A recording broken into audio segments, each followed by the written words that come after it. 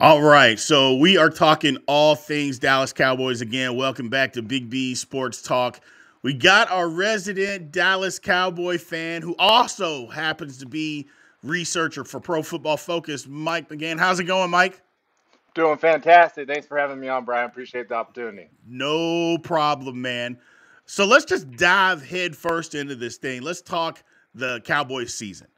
Uh, first off, they won 12 games. They were 12 and 5.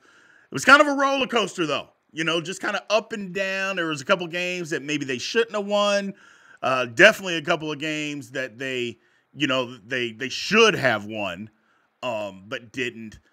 Uh, tell me what you think about the season. Again, we're talking inconsistencies, but this is a still a 12 win football team. Tell me what you think about that. Uh, I think it's a season of the the good and the ugly. Um, to be completely honest, when we were good, we were good. We had Right. a great defense. We had a great offense. We were putting up points, um, stopping stopping our opponents. Um, I, I think that up until Thanksgiving, uh, the wheels kind of fell on fell off on our defense. Mm-hmm. Our offense had to uh, compensate, put some more points on the board, relatively more than they probably should have if our defense Right. had had come through. But again, yeah, I couldn't agree with you more. It was a roller coaster. Read a stat today um, on social media where it was Cowboys lost to the Buccaneers, won four straight, lost two, won another four straight, lost Yeah. two, won another four straight. so and then we we lose uh, we lose against Washington. So if this the that continues to unfold, I mean, we'll, we'll be Super Bowl champs champs at the end of the season. the thing about the Washington game, man, at the end of the year, it was just like I don't even they just didn't even care. They didn't act like they even wanted to play. I think they kind of figured that the Eagles were going to win. We're going to be wild card, so it is what it is cuz they didn't show up at all. Didn't show up at all. I I understand that, but they kept their starters in all the way up until the fourth quarter. And that's a problem. Right. that- that's a problem. So, I mean, if that's your mindset, re- rest your starters and put Cooper Rush in, put uh, number 34, um, the third string running back in, right. put the other receivers in. Don't put your playmakers in harm's way if that's what if that's your plan of action. Um, I thought as soon as we fumbled the, the punt on our first possession, Right. right, it just went downhill. I mean, it was it was quicksand from that that point forward. Well, my thing is, and I think that's a, another part of it, is Mike McCarthy, how great of a coach he is. Because if your plan at the beginning is, okay, we're going to play these guys and we're going to try to win this game, at some point at the as a coach, you have to see, especially when you're in the playoffs, okay, my guys aren't in it. They, they're they're playing uninspired football. They're not ready to play, which partly is my fault as the head coach, but they're not playing. It's time to get these guys out of the football game and not put up a pathetic performance and just rest everybody. And I, think that's why a lot of Cowboys fans have a problem with McCarthy because as a head coach, you got to be able to understand your team and see that, especially with what's coming on the horizon. Uh, Don't you think so? Yes, I mean my the first thing I, I posted on Facebook, I saw uh, an unorganized and uh, uninspired team. So Yeah. uh, it's exactly to your to your sentiment. Like if we're not again, you get the excited the what's the word I'm looking for? Um, the emotional win over the Mhm. Eagles the week before, and then now we go into Washington, which should be on paper an easy win. Um, we lose that game horribly, and now Right. we're limping into the playoffs against Right. Bucks team that we should beat. But again, now we're 0 and 7 against Tom Brady, and Tom Brady in the playoffs. I mean, he's going to play his best football regardless of what he did in the regular season. So again, yes, we should. If our sentiment was to rest our starters in preparation for our wildcat wild, wild card game, then yes, I absolutely agree. Um, but again, yes, Mike McCarthy. If not, pull him at halftime. Yeah. I mean, Yeah. if if they're we're turning the ball over, we're making we're we're not having we're ru- running the same play twice. One goes for a pick six. All right. Right. The yeah, that was nuts. Yeah, get the get the starters out. put our backups in, give, give them some quality reps going into the playoffs in case we need them in the playoffs, and just roll from there instead of keeping everyone in trying to win an uninspired game. Yeah, that that's basically that, that's a great point, Mike. Is just uninspired game. They were playing uninspired football, and you, you left them out there to go get their head beaten in right before the playoffs. It's just like at some point, come on, coach, you, got to figure out your team and understand your team. So, changing the pace and changing the the conversation a little bit here.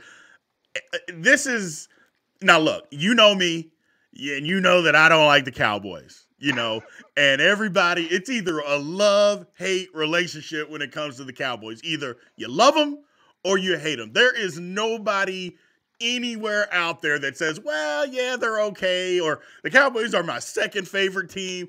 It, it, you don't hear that from anybody. It's either you love the Cowboys and they're great, or I can't stand the Cowboys. For me, it's look, we live here in Dallas. When the Cowboys don't do well, it's a good day for me.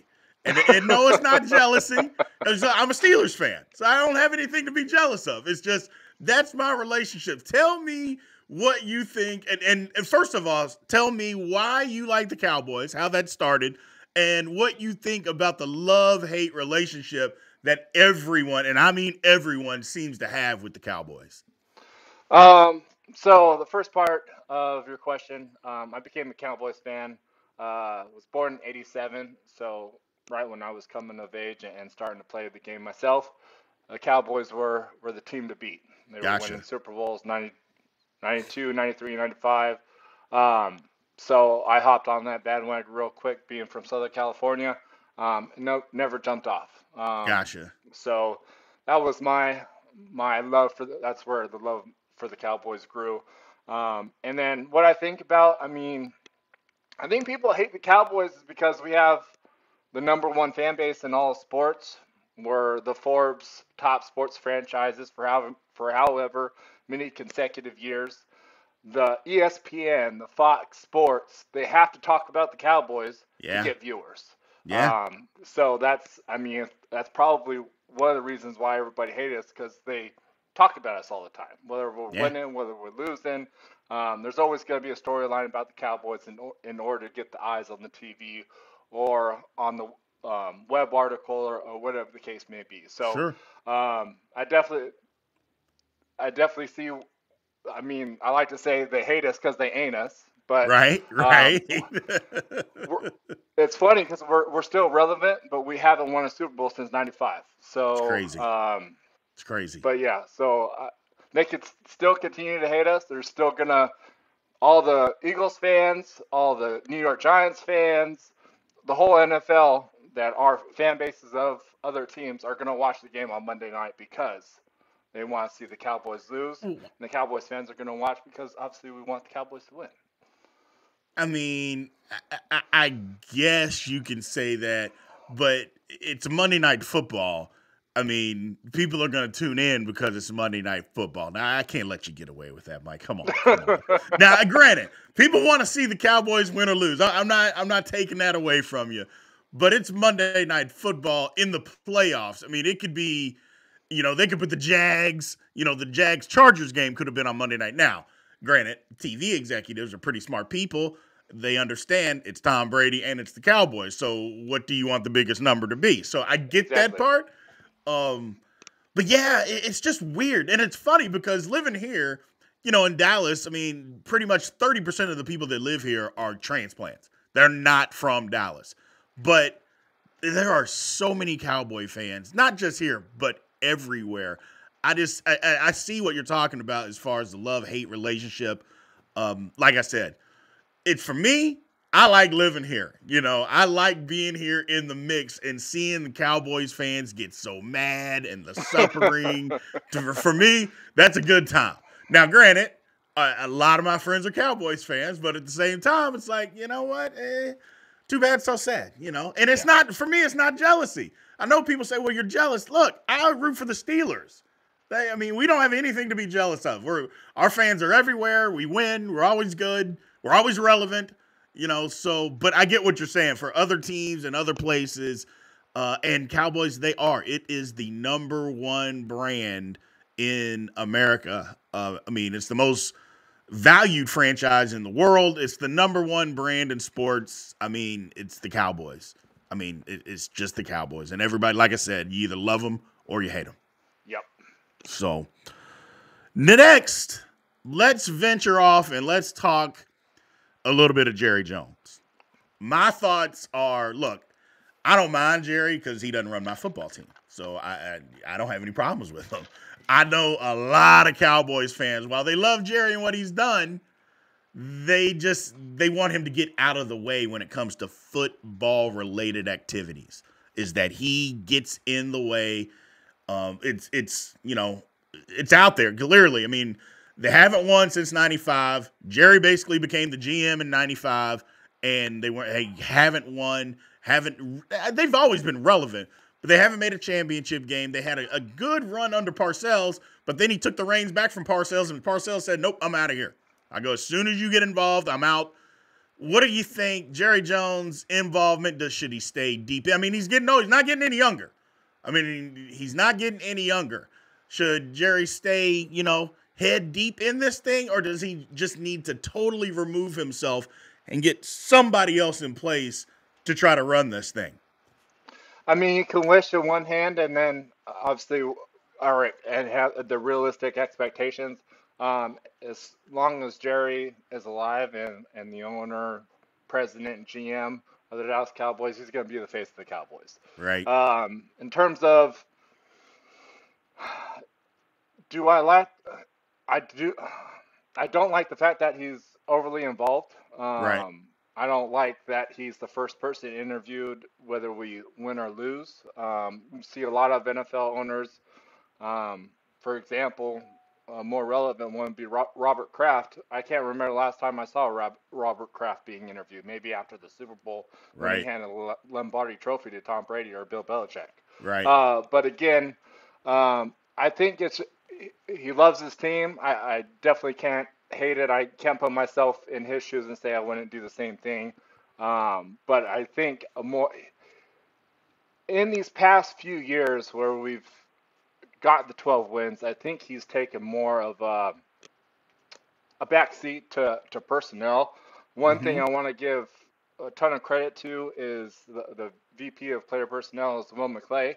Yeah. The way that he's constructed this roster um, and, and, made us competitive again um, is phenomenal. Um, he's executed the draft phenomenally for the past few years, if not past decade, um, and it's just, I think, giving him more control. Essentially, after w- when Jerry passes the torch per se, making Will McClay the general manager and keeping him there is going to be fantastic for our franchise. Uh, making those personnel decisions without the input of Jerry. Uh, but again, Jerry is a great businessman. Um, he had a great business model. Mm-hmm. He brought the when he bought the Cowboys in '89. Now, obviously, we're the top sports franchise in the world, or the most money-making sports franchise in the world. I don't know if we're the um, most right. respected, but um, no, I think I like what I, am a fan of the Cowboys. I'm a fan of Jerry by default. Um, I sure. think there's th- some things that need to be that need to change um, in order for us to see success. Hopefully, fingers crossed, we, we reach that pinnacle moment and hold that Lombardi trophy, but only time will tell. But gotcha. yeah, I mean, gotcha. Um, I, I I feel bad talking bad about Jerry, but obviously I, I do see the writing on the yeah, wall. Yeah, but it, I don't think it's talking bad about him though, Mike. I don't think it's talking bad about it. I think it's just being honest about the situation. You know, there's one thing to badmouth somebody and say he's bad because he clearly he is not bad for the Cowboys. He, getting in the way of personnel matter matters is something different versus you know him just being a bad spot. Because if Jerry Jones, here's the one thing: if Jerry Jones is not involved with the Cowboys, the Cowboys aren't as as they're not as valuable. Exactly. You know, so you can say whatever you want about Jerry Jones. He's a star and yes. he is the face of the Dallas Cowboys.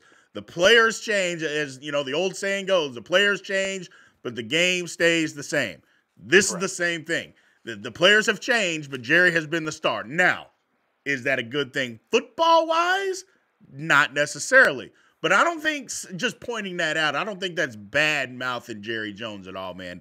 And, I think a lot of Dallas Cowboy fans kind of feel the same way. It's like, look, we want to win. How we get there, we don't care. But the way that exactly. you've been doing it forever, it hasn't worked. What is this, 26 years now that we're going yeah. on? It has not worked. We got to do something different. And I think Jerry understands that part of it. But you know what? As you mentioned, he's a good businessman.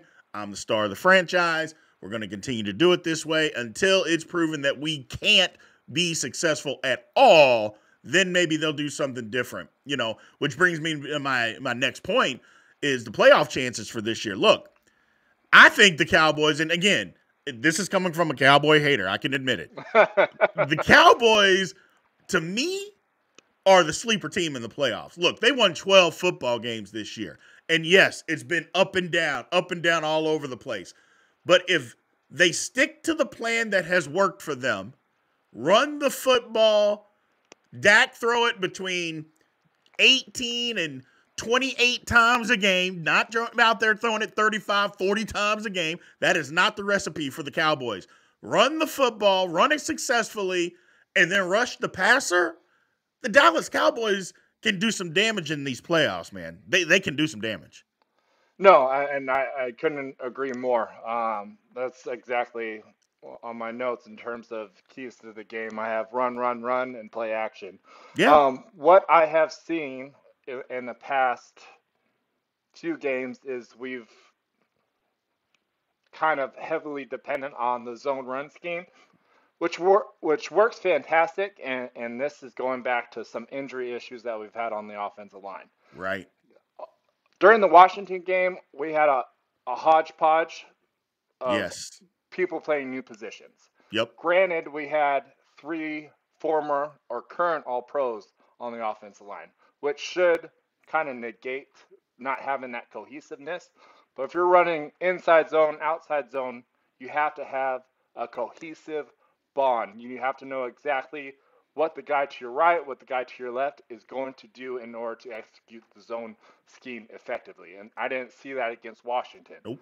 Um, with nope. Tyler Biadasz coming back, um, the center who started, I think, 14 or 15 of the games, I think that's going to bring some of that back where the zone run scheme is will be more effective. It was not effective at all against Washington. Uh, was not really effective with um, Philadelphia. As soon as you get pressure from anywhere on the defensive line or from blitzing linebackers against the zone, it's ineffective. Right. My my point of thing is to incorporate a, a power run game. Um, use Zack Martin. He's an All Pro. If you're going to keep Tyler Tyler Smith, the, the the first round rookie, in at right or at left guard, then go ahead and use him. He's fast enough. He's athletic enough to go ahead and pull and make blocks on the um, at the linebacker level. So yes, run, run, run, play action, run, and and you have the emergence of Tony Pollard, first thousand yep. yard season, um, yep. and then I mean uh, he's essentially became a bell horse over the the the, the course of this season. Um, and then you have Zeke for short yardage. Let's run power, give it to Zeke. We'll at least get two two to three yards at least. And he's gonna fall forward. Tony Pollard has the speed to get on the outside, so if we want to run outside zone, use Tony Pollard. I mean, even if putting the, both of those guys on the field at the same time, put Tony Pollard Absolutely. out um, on a at, a at a wideout position, run a quick um, wideout screen to him. I mean, there's a lot of things you can do with the playmakers that you have. Um, Absolutely. But I, but uh, yeah, I couldn't agree more. Run the football. Do, be Dak needs to be a game manager. Uh, to be completely honest, the amount of interceptions that he's had since he's come back from his uh, injury is, is, unacceptable. Yeah. Um, so as soon as we get back to, I mean, if Cooper Rush can win with this team, I'm damn sure know Dak Prescott can win with this team if Absolutely. we run within the, within the confines of what we need to do offensively in terms of running the football especially against Tom Brady, control the football, run the football, control the clock, keep Tom Brady off the field, get the defense tired, and we should come out with a win uh, in this wild card round against the Buccaneers. Well, and you brought up some great points, man. The first one, the offensive line, you got to get them healthy. those guys get back healthy, yeah. that is the strength of the offense. It just is. One point that you didn't bring up the emergence, or I, I should say the emergence, the signing of T.Y. Hilton, I think has been incredible. Getting him out there on the football field, getting a guy inside. Look, we all love Noah Brown. He Noah Brown is, is a great story. You know, he's a late round pick. T.Y. Hilton is better than him. And he's got to get more yes. targets than him. CeeDee Lamb's got to get yes. more targets than him. You know, yes. uh, it just, it, it, to me, they're better. They, they got better at the wide receiver position, a lot better by putting him out there, T.Y. Hilton out there. They they are so much more explosive, can still move the football. He can get things open inside. Um, they're a better football team with him out there. The one spot that I don't know, man. I I have been a Tyron Smith fan since he came into the league. I think that guy is phenomenal, has been phenomenal. They got him out there at right tackle. He hasn't looked good, and people think that you can just plug a guy in that's a first ballot Hall of Famer, which he will be, wherever you put him on the line, and he's going to be fine he looks lost, Mike. It is not the same foot placement, hand placement. It is not the same going from left tackle to right tackle. It's all the opposite stuff. He looks like he's lost. Um, and I hate seeing that because he's been so good for so long. I know his body has pretty much said enough is enough. Um, Tell me what you think about that, man, because it, it's sad for me to watch. As an old offensive lineman, it's yeah. sad for me watching it because it doesn't look like that he can do it anymore. Yes. Um, all the respect for for Tyron. Um, yes, uh, I mean I think he's um, out of position, but I think he's our, yeah. our best option. Um, I yeah. think since Zack Martin plays on the right side, I mean I me if I was an off the offense line coach, I'd suggest let's put Zack Martin and then put in Connor McGovern or one of our other guards to play right guard where they have a little help because he has experience on the with his right hand on the ground. Right. Um, but again, you don't move an all pro out of his position. No. So I no. I, I get keeping Zack Martin there. Um, I mean, uh, my biggest issue with, with Mr. Smith is he, he hasn't he hasn't been healthy. He missed no. pretty much all of the, all this season, like you said. Yeah. His body's probably telling him no. His yeah. heart and his mind's telling him I still got it. Right. Um, but I mean, that, that's your best option. It's you your best to, option. Once Steele got have, hurt, you have to put put the best eleven on the field. You do. You do, and you just got to figure it out. You're exactly right. He's the best option at this point because once Steele went down, then what do you do? It's yeah. like we got to do something, and you got this guy that is has been all world for you. At some point, okay, and maybe he figures it out. You know, again, getting more reps and all that kind of stuff. Maybe he gets it figured out. Because uh, I do think they can run the football against Tampa Bay this weekend. I think they can run the football and control the clock. On the defensive side of the ball, I know stopping the run has been a Cowboys issue. And the first matchup the Buccaneers just ran all over the Cowboys. Having said that, the Buccaneers can't run the football anymore. There, you talk about a beat up offensive line. They